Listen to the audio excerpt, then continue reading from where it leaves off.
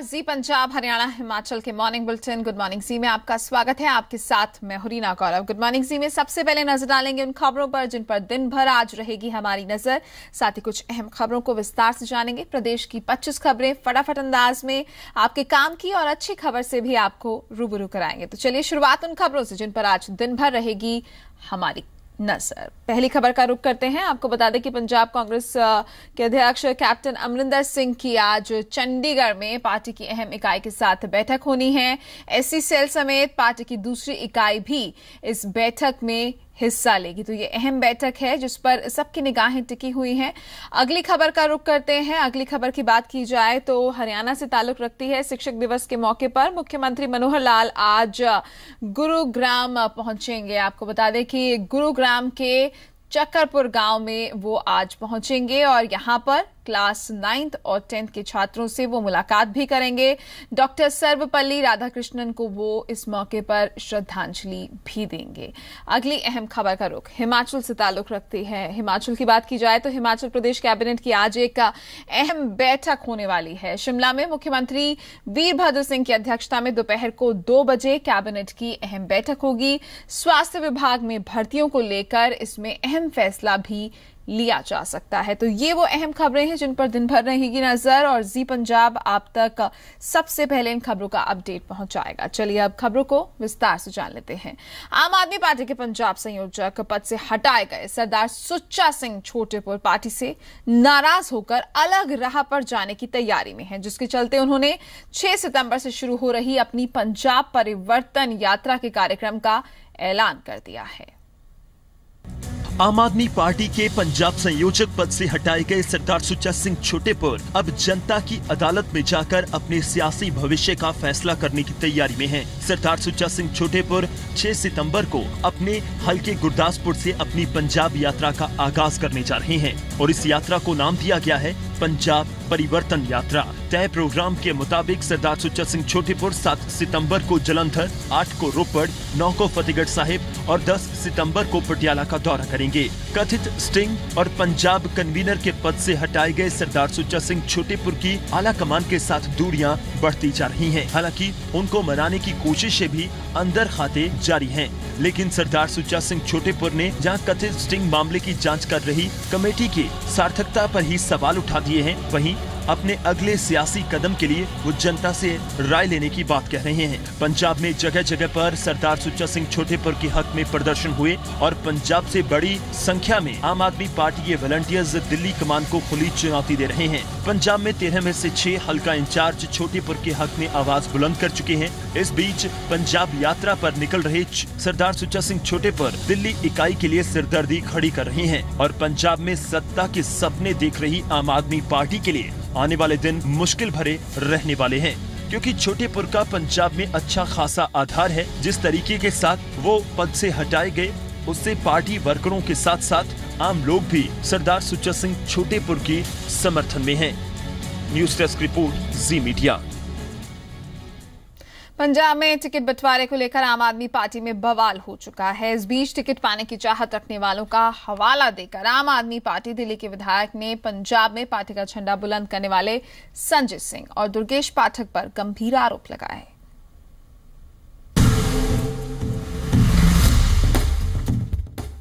आम आदमी पार्टी में बवाल थमने का नाम नहीं ले रहे। संदीप कुमार सेक्स सीडी विवाद को लेकर पार्टी मुश्किल दौर में है। पंजाब में सुच्चा सिंह छोटेपुर को लेकर पार्टी दो फाड़ हो चुकी है इस बीच केजरीवाल सरकार के विधायक ने पंजाब में टिकट बंटवारे को लेकर संजय सिंह और दुर्गेश पाठक के आचरण पर सवाल या निशान लगाया है उन्होंने केजरीवाल को चिट्ठी लिखकर आरोपों की सच्चाई का पता लगाने की मांग की है ਕਿ ਪੰਜਾਬ ਵਿੱਚ ਜੋ ਰਿਪੋਰਟ ਆਈ ਹੈ ਅ, ਜਨਾਨੀਆਂ ਦੇ ਨਾਲ ਜੋ ਹੈ ਅ, ਟਿਕਟਾਂ ਅ, के ऊपर जो सेक्सुअल ग्रेटिफिकेशन की रिपोर्टां कंप्लेंट्स ये सब तो शेमफुल डिसग्रेसफुल कौन लोग हैं? कौन ऐसे काले कारनामे कर रहे हैं? पार्टी की तो पंजाब में जो कैसे अगुवाई संजय सिंह दुर्गेश पाठक करें? उन्होंने नाम ही चिट्ठी लिखा है कि ये दो जो है इन्होंने खिलाफ जो कंप्लेन वगैरह आई हैं उन्हें चेक करो वेरीफाई करो। देवेंद्र सहरावत दिल्ली के बिजवासन से आपके विधायक हैं। उन्होंने बताया कि पार्टी को एक्शन लेने की ज़रूरत है वरना खामियाजा भुगतने के लिए तैयार रहना होगा। पार्टी भी जो है उदयच भी जो है कार्रवाई करेंगे चेक करेंगे की किता की एक्शन लिता है इसके ऊपर संगठन ने की किता है वो सारा चेक करेंगे इसके ऊपर और आज मैं उन्हें कुछ जो है सलाह दे रहा है तो उस तो जो है कुछ लेसन लेके करेक्शन करेंगे तो पार्टी का फ़ायदा होएगा नहीं होगा जो है मैनू जो है मेरी वाद दबाण की कोशिश करेंगे तो फिर पार्टी ने फिर भुगतना पड़ेगा सिंपल गल है पंचकुला में जी पंजाब, हरियाणा, हिमाचल से बातचीत में सहरावत ने कहा कि उन्होंने अन्ना हजारे से भी दखल की मांग की है। ਅੰਨਾ ਹਜ਼ਾਰੇ ਨੂੰ ਵੀ ਇੱਕ ਚਿੱਠੀ ਲਿਖੀ ਹੈ ਕਿ ਅੰਨਾ ਜੀ ਤੁਹਾਡੇ ਨਾਲ ਅਸੀਂ ਜੁੜੇ ਸੀ ਅਹ ਇਸ ਤਰ੍ਹਾਂ ਦੀ ਕੰਪਰੋਮਾਈਜ਼ ਕਰਨ ਦੀ ਰਿਪੋਰਟਾਂ ਜਦੀ ਆ ਰਹੀਆਂ ਹੈ ਤਾਂ ਪਾਰਟੀ ਨੇ ਕੋਈ ਕੋਰਸ ਕਰੈਕਸ਼ਨ ਚਾਹੀਦਾ ਕੋਈ ਕਰੈਕਸ਼ਨ ਕਰਨ ਦੀ ਸਖਤ ਜ਼ਰੂਰਤ ਹੈ जब अपने ही सवाल पूछने लगे तो साफ है कि दाल में कुछ तो काला है जगतार भुल्लर जी मीडिया चंडीगढ़ सिमरनजीत सिंह बैंस ने दावा किया है कि आवाज़ पंजाब के ऐलान के बाद कई लोगों ने उनके इस मोर्चे से जुड़ने की इच्छा व्यक्त की है और उन लोगों में आम आदमी पार्टी से जुड़े लोगों की गिनती ज़्यादा है। आवाज़ पंजाब के ऐलान के बाद लुधियाना से विधायक सिमरजीत सिंह बैंस काफ़ी सरगर्म नज़र आ रहे हैं और बेहद तहदीली से आवाज़ पंजाब मोर्चे के लिए समर्थन जुटाने में लगे हैं। और साथ ही उनका दावा है कि आवाजें पंजाब के ऐलान के बाद बड़ी गिनती में लोगों ने उनसे जुड़ने की पेशकश की है सिमरजीत बैंस का दावा है कि विरोधी पार्टियां खासकर आम आदमी पार्टी से जुड़े लोगों ने आवाजें पंजाब का हिस्सा बनने में रुचि दिखाई है अगली रणनीति के बारे में पूछे जाने पर सिमरजीत बैंस ने 8 सितंबर तक सब्र रखने की गुजारिश की ਸਭ ਤੋਂ ਵੱਧ ਆਮ ਆਦਮੀ ਪਾਰਟੀ ਦੇ ਉਹ ਲੋਕ ਉਹ ਲੋਕ ਜਿਹੜੇ ਅਸਲ ਦੇ ਵਿੱਚ ਵਲੰਟੀਅਰ ਅਸਲ ਦੇ ਵਿੱਚ ਇੱਕ ਤਬਦੀਲੀ ਦੀ ਭਾਵਨਾ ਨੂੰ ਲੈ ਕੇ ਇਹਨਾਂ ਦੇ ਵਿੱਚ ਸ਼ਾਮਲ ਹੋਏ ਸੀ ਤੇ ਅੱਜ ਸਭ ਤੋਂ ਵੱਧ ਠੱਗੇ ਮਹਿਸੂਸ ਕਰ ਰਹੇ ਹੋ 117 ਸੀਟਾਂ ਦੇ ਲੜੋਗੇ ਮੈਂ ਕਿਹਾ ਜੀ ਇਹ ਤਾਂ ਪ੍ਰੋਗਰਾਮ 8 ਤਰੀਕ ਨੂੰ ਤੁਹਾਨੂੰ ਤੁਹਾਡੇ ਨਾਲ ਸ਼ੇਅਰ ਕਰਨਾ ਹੀ ਤਾਂ ਦੱਸ ਰਿਹਾ भगवंत मान द्वारा मीडिया से बदसलूकी किए जाने की भी उन्होंने निंदा की सिमरजीत बैंस ने कहा कि लोकतंत्र के चौथे स्तंभ के साथ ऐसा बर्ताव करना दुर्भाग्यपूर्ण है ਮੇਰੇ ਕੋਲੇ ਲਫ਼ਜ਼ ਨਹੀਂ ਜਿਹੜੇ ਲਫ਼ਜ਼ਾਂ ਦੇ ਵਿੱਚ ਮੈਂ ਨਿੰਦਾ ਕਰਾਂ ਮੀਡੀਆ ਉਹ ਪਿਲਰ ਆ ਡੈਮੋਕ੍ਰੇਸੀ ਦਾ ਜਿਹਦੇ ਸਾਰੇ अजे पंजाब ਪੰਜਾਬ ਦੇ ਵਿੱਚ ਕਿਤੇ ਕੋਈ ਮਾੜੀ ਜੀ ਡੈਮੋਕ੍ਰੇਸੀ ਦੀ ਕਿਰਨ ਆ ਤੇ due to you people due to you due to to honourable court फ़िलहाल 8 सितंबर को आवाज़ें पंजाब के बोल स्पष्ट सुनाई देंगे।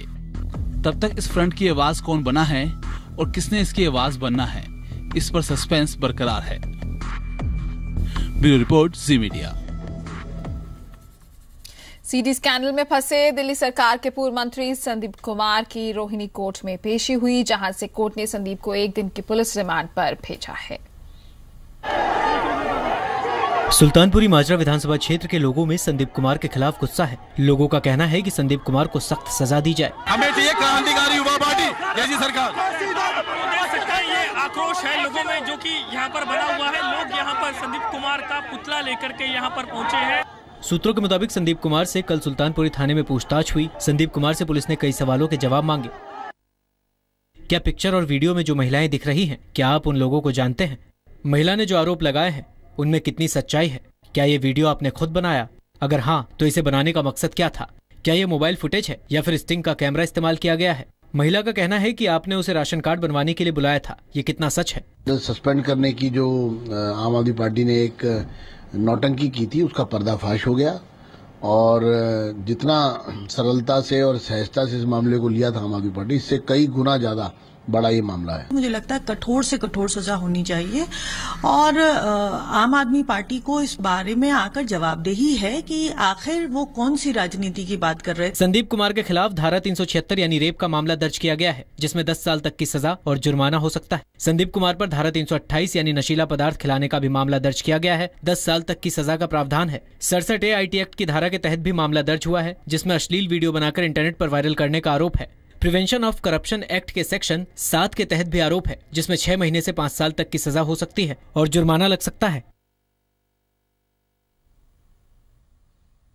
दिल्ली के मुख्यमंत्री और उप मुख्यमंत्री के दफ्तर ने डेढ़ साल में चाय नाश्ते पर अट्ठावन लाख रुपए खर्च किए। ये आंकड़ा फरवरी 2015 से जुलाई 2016 के बीच का है। इस रिपोर्ट पर एक नज़र डालिए।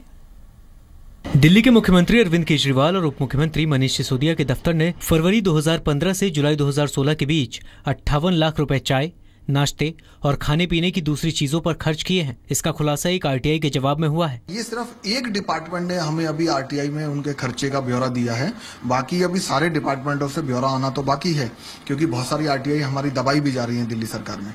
जब एक करोड़ की चाय मुख्यमंत्री और उनके मंत्री पी जा रहे हैं तो अगर सारे डिपार्टमेंट का जब ये जवाब आएगा तो आप अंदाज़ा लगा सकते हैं जनता के पैसे का कितना दुरुपयोग हो रहा है। मुख्यमंत्री केजरीवाल के दफ्तर ने चाय नाश्ते पर करीब सैतालीस लाख रुपए खर्च किए हैं। केजरीवाल के सचिवालय स्थित दफ्तर ने करीब 22 लाख जबकि कैंप दफ्तर ने 25 लाख खर्च किए। उप मुख्यमंत्री मनीष सिसोदिया के दफ्तर ने चाय नाश्ते पर करीब 11 लाख रूपए खर्च किए हैं। सिसोदिया के सचिवालय स्थित दफ्तर ने पाँच लाख बासठ हज़ार रूपए जबकि कैंप दफ्तर ने पाँच लाख छियासठ हज़ार रूपए खर्च किए हैं। दिल्ली के पाँच मंत्रियों के दफ्तर में चाय नाश्ते का खर्च भी जोड़ दिया जाए तो ये एक करोड़ से ऊपर बैठेगा। ब्यूरो रिपोर्ट के साथ, जीवन रामगढ़, जी मीडिया।